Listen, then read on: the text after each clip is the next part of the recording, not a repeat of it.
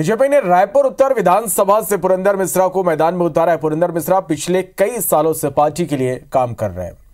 और उनसे बात की हमारे संवाददाता स्टार जैन ने।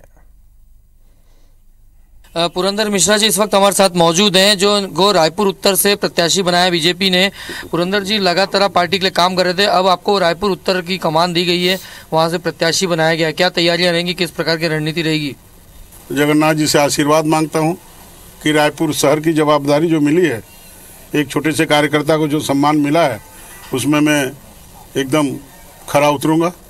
सभी जनता की चिंता करूँगा, पार्टी की चिंता करूँगा, कार्यकर्ता की चिंता करूँगा, और मैं सबको धन्यवाद करता हूँ, जिनके विशेष स्नेह से मुझे बसना से रायपुर बुला लिया गया। संगठन के जितने हैं सबको धन्यवाद करता हूँ उनका आभार व्यक्त करता हूँ कि मुझे मेरे जैसे छोटे से कार्यकर्ता पर विश्वास है कांग्रेस सामने रहेगी या कांग्रेस के उम्मीदवार रहेंगे तो उनको कैसे काटेंगे आप? क्योंकि सरकार अभी वर्तमान में देखा जाए तो कांग्रेस की है। उनके लिए क्या स्ट्रेटेजी रहेगी? रायपुर को लेकर बात करें तो। दो हज़ार तीन में भी हमारे पास सरकार नहीं थी और हम जीत के आए थे।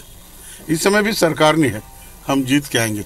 हमारा पंद्रह साल का जो कार्य है भारतीय जनता पार्टी कार्य वो दिख रहा है सड़कों में दिख रहा है रोड में दिख रहा है गली में दिख रहा है मोहल्ला में दिख उसको बताएँगे। पिछले बार रायपुर उत्तर की सीट सबसे आखिरी में जारी की गई थी और इस बार भी कई लोग दावेदार थे और एक प्रकार से हाई प्रोफ़ाइल सीट है। भारतीय जनता पार्टी में टिकट वितरण तक मनमुटाव रहता है उसके बाद मनमुटाव नहीं आता और सब एक दूसरे के दुख सुख के साथी हैं इसलिए वाली बात ज़्यादा महत्वपूर्ण नहीं है।